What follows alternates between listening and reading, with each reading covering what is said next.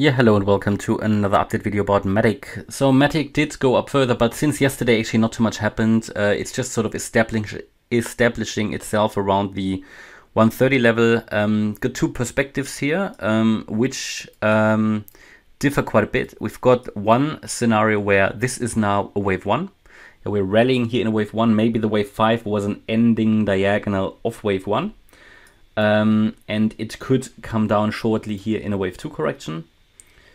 Um, but for now, as I already said yesterday to you, against the which level was it? The last low here around 116, the trend is up. Yeah, we, we still push higher against this um, low.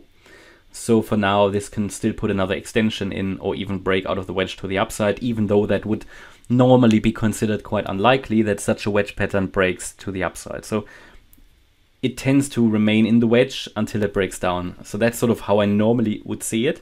Of course, there is never 100% guarantee, but for now it's still pushing higher. There is no sign a top is in place.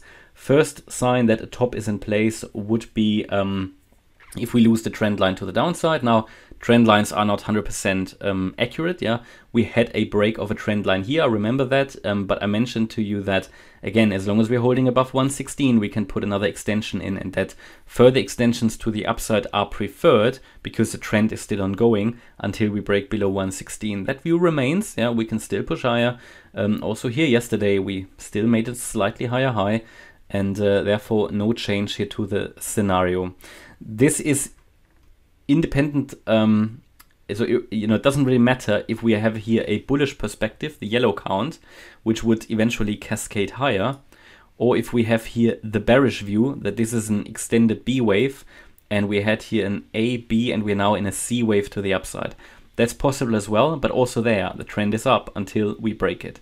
Um, so extensions further are possible. We're now obviously in the bearish view here. We're now in a in an overshooting B wave this overshoots quite a bit now. This is possible, but it did overshoot quite a bit now. So it's getting less and less likely. What I also need to tell you that if we have an overshooting B wave, we might not come down that much anymore in C.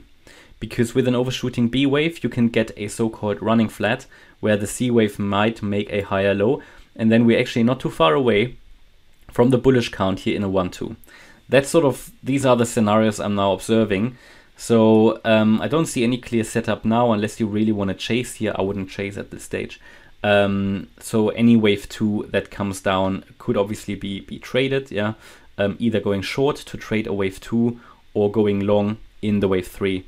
That's sort of what I'm observing. And if we see that signal, then um, that might be a good setup. Until then, it's just um, here's something to, you know, anybody who is long can just sort of watch the trend line, maybe move up, move up the stop loss, and then either um, sell when we come down or go short. It's up to you. At this stage, however, trend continuation is preferred because the trend isn't broken. And these diagonals, as we've seen, for example, with ADA as well, they can continue and continue and continue. But it's getting more and more interesting, and this will get very interesting in the next few days. It's getting more interesting as the um, they they're contracting always more and more. It's like a like the tension is building up. So it will be quite exciting to see what's going to happen here. If it comes down and it comes down low enough, I will enter here in a wave 2 to trade the third wave. But that, then there is not much more to add to yesterday. I hope you liked the update. If you did, please hit the like button, leave a comment and subscribe. And if you really like the content, then please check out the channel membership. Thanks a lot for watching. Bye bye.